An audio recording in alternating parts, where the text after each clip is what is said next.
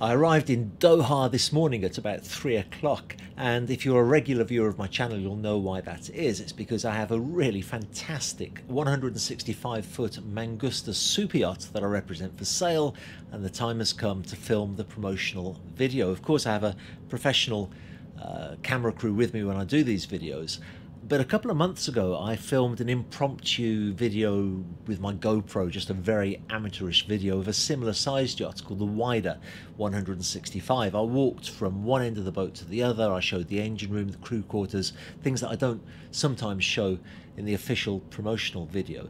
I have an hour to spare now, so I thought it would be a, a, good idea to do the same thing again. If nothing else, this will show you why it is that I use professionals to do my promotional videos. This is not the official promotional video. It's just an opportunity to take a look at what goes on behind the scenes when we film, to look at the engine room, the crew's quarters, things that I don't feature a lot in the promotional videos that I do. So we'll be walking from one end of the boat to the other um, but before we do that, I just want to show you some footage I took earlier today when we took the yacht out to sea to take some waterline footage.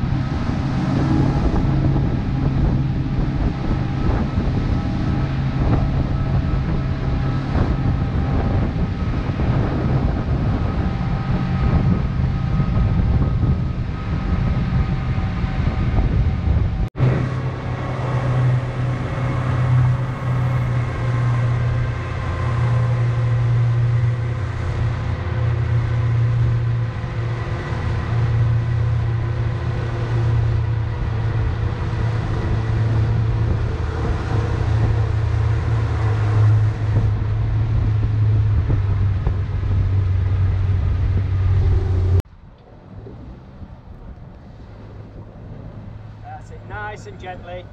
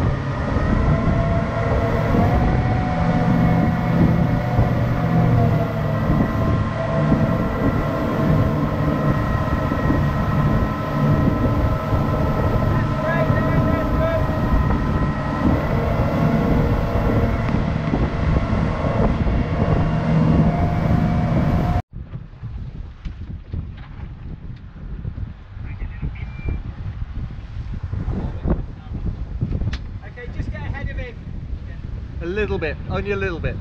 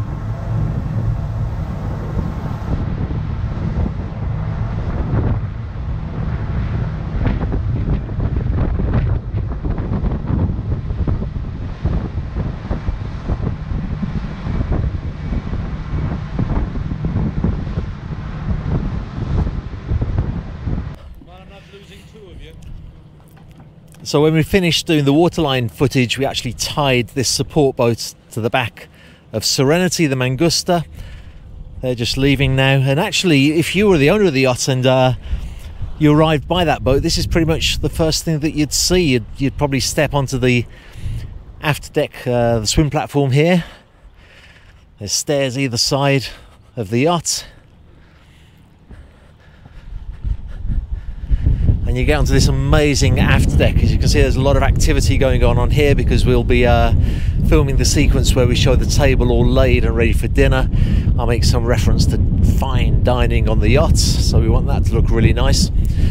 Actually, any Mangusta owner will tell you the reason they buy this model is because of the aft deck. They are absolutely huge.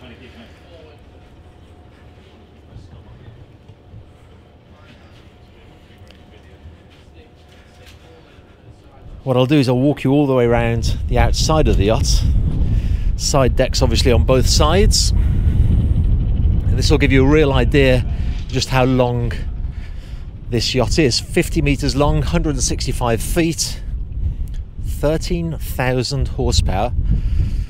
And I've got to tell you that Doha is the most spectacular setting to be able to film this in. It's what the uh, the camera crew called, uh, I think they called it feature rich.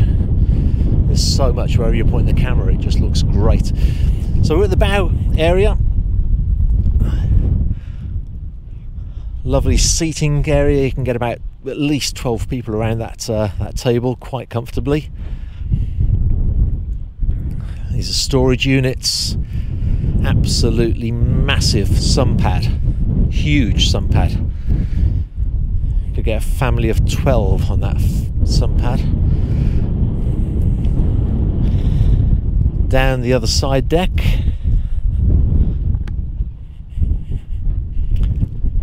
And I'm really hoping you can see this, but the uh, the Doha skyline is just behind us, and it does look really sensational.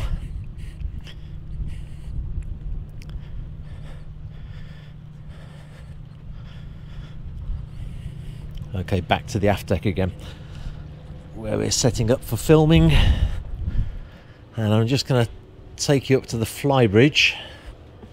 Move, Dan. Dan's moving.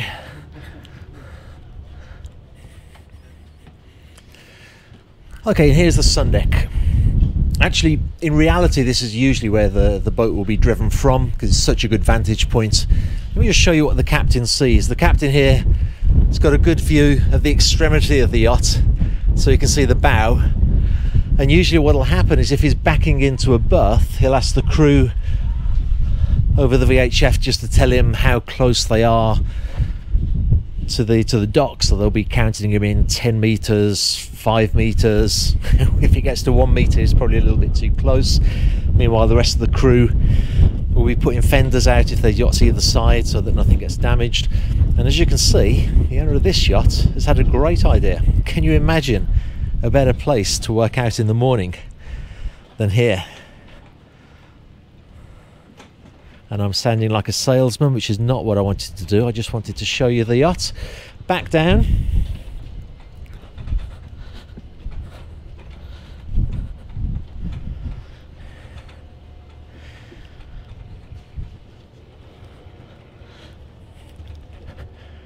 And we go into the main lounge area where there's a lovely bar, and as should be the case, it's right opposite the dining table. I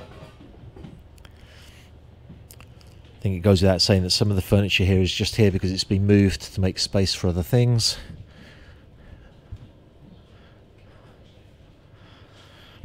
Lovely seating area, and opposite the seating area that unit there is a pop-up television. I mean, it doesn't really pop up, it sort of slides up slowly and gracefully. Let me just see what Greg's doing here. Just getting some details at the moment, David. This lovely open plan living area. This is called a slider and we use this a lot. It's how we get a lot of those really fantastic images of the interiors of the yacht usually. There's another snug just here. I guess you'd sit around playing cards. And then forward of this is the helm station, which I get a lot of comments from people asking to look at the helm station. You mean change the, the box? Yeah, we'll just cut Mike is the captain. Hello, hello. Please don't buy my boat. I love it. So And you're you're chief Nicholas. engineer? Chief officer. Nick is the chief officer of the yacht. Just tell us somebody Where it all somebody's begins. somebody tell us what we're looking at. I can see the radar and the closed circuit television which is here. We've got Furuno Navnet. Uh, so it's jet driven. So these are the jet controls. And this is the center thrust engine. So it's three engines to take it up to a maximum speed of 43 knots, light load. Extremely fast, like a Ferrari, a Ferrari of the seas. Ferrari of the like to call oceans. Yeah. You're going to put me out of a job here, Mike. Exactly, exactly. Down below is where all of the accommodation is for the owner and his guests. And I do get people criticising me in the comments saying, why do you say his guests? It might be a female owner. You're absolutely right, but it's just a figure of speech. His guests is just. It's like people refer to a, a yacht as a she. I don't think many guys get offended by that. So if you're female and you hear me say his guests, please don't get offended. Anyway, taking away from the fact that the master stateroom on this yacht is pretty incredible. Uh, if it looks good with my lousy camera abilities, just imagine when Greg's works his magic what it's going to look like. The unit at the end of the bed, again, is a, a pop up television. You can just about make out the panel there that it pops up from. And then into the bathroom. We'll have much nicer coverage of this in the official video.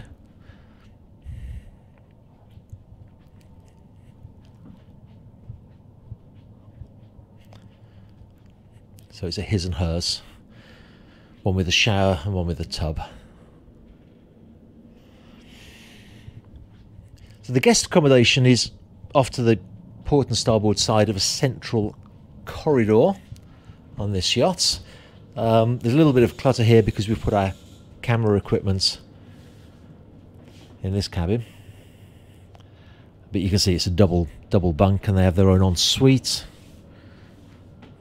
And this is where I've been positioning myself, getting a few emails done with my GoPro stuff here. Just quickly show you what the ensuites look like. So pretty good, pretty good size.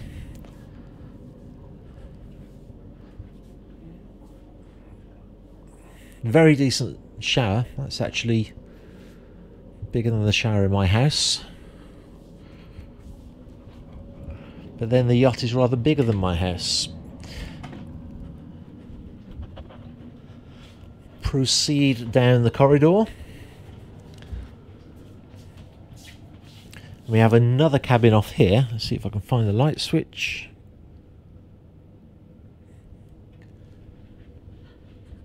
Classic yacht broker. Can't find where the light switch is.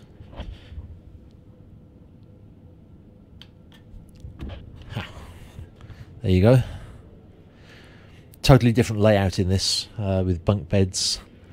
And actually, that unit there is what's called a Pullman bunk. So that actually folds down. So you can get four people in this cabin, which I suppose is great if you've got kids who all want to sleep together in the same room, little kids.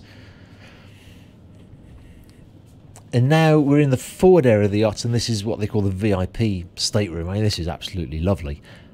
And something that I want to make a feature of in the video because I was particularly impressed when I saw it was the ensuite bathroom because it really is pretty impressive. A lovely tub there. And this absolutely cavernous shower room. I don't think I'll use the word cavernous in the official video though, it just doesn't sound quite attractive enough. Now I'm going to go back up to the main deck because I get so many people asking me to see the crew's quarters. Let me show you where the crew live. Back through the lounge. Then behind the bar here, there's a little, almost a hidden door. And some steps down.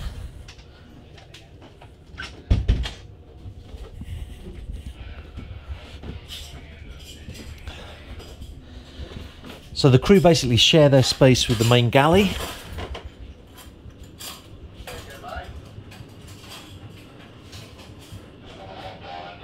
And I got to tell you, we had lunch on board today, and the chef did us absolutely brilliant lunch. It was so tasty. This is the crew mess. This is where we had lunch earlier. And then there's basically there's the cabins off of here. As you can see, there's a washer and dryer. I would like to show you the engine room though. Because that's another thing a lot of people ask me to see. We will actually probably show it in the promotional video actually because the engines are such a big part of the sale of this yacht. I mean look at the size of this.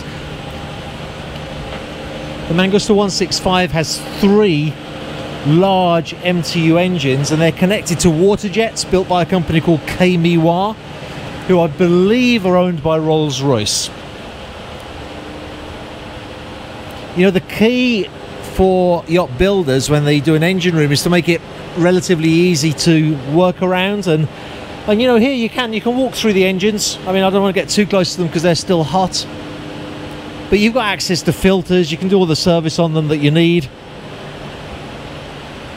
Got a nice workbench here. There's really everything that you need to be able to work in the engine room and keep it well maintained I hope that you enjoyed that. Once again, that is not the official promotional video. The official video will be out probably in about 10 days' time, certainly mid uh, December.